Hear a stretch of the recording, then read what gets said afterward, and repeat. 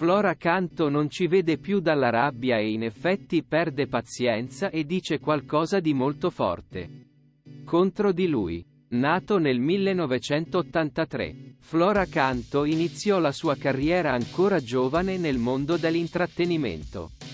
Partecipando al Grande Fratello. Per qualche tempo è stato anche presentatore di Temptation Island prima di essere sostituito dall'attuale direttore Filippo Bisciglia.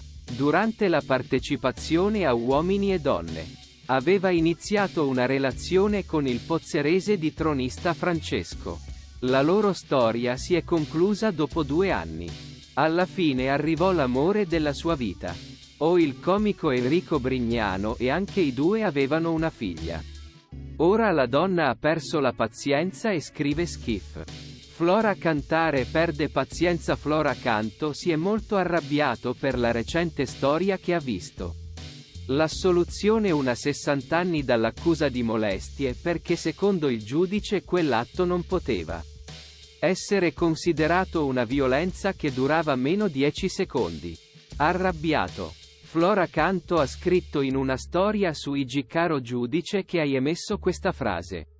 Spero che la tua coscienza non ti faccia dormire per i prossimi 50 anni.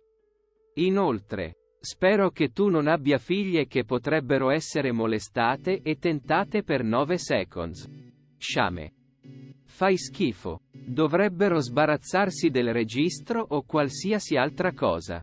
Flora Canto interviene la controversia con Mario Forte questa settimana una controversia a coinvolto Enrico Brignano. Il cantante Mario Forte è stato molto influenzato da un commento fatto dall'attore sotto il suo post, in cui lo chiama Pattute. Tuttavia, sembra che in realtà il profilo del comico sia stato violato.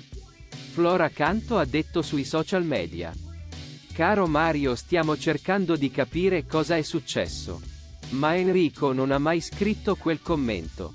Immagina che al nostro matrimonio la mia sorpresa era avere un ospite sannino. Perché amiamo la musica napoletana con tutti i loro cantanti. Quindi non appena avremo capito cosa è successo e se hanno violato il suo profilo sarai il primo a sapere. Ha anche aggiunto, ti mando anche un video e spero che tu lo veda immediatamente.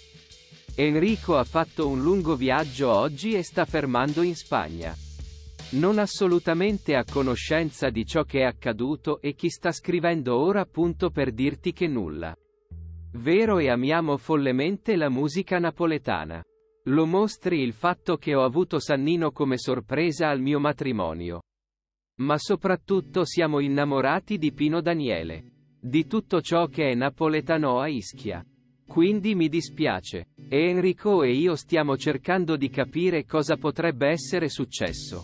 Non so se hanno hackerato il profilo e penso così. Non avrei mai scritto una cosa del genere. Come non avremo notizie al riguardo. Ti faremo sapere.